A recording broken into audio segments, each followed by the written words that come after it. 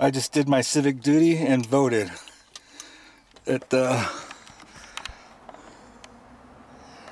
so, um, I always vote by mail. I get the ballot early. I fill it out at my leisure and then I turn it into the headquarters right here in town. It's just a it's just a little errand in town, easy to do. So I feel good that I voted.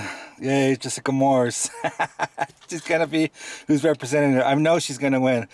The instant that um, I met her, I knew this woman's gonna she's gonna win. She's gonna take away the seat from uh, Tom McClintock, who's evil, and she's gonna represent me. She's gonna do a good job in conference, and she's gonna go far. I saw that immediately.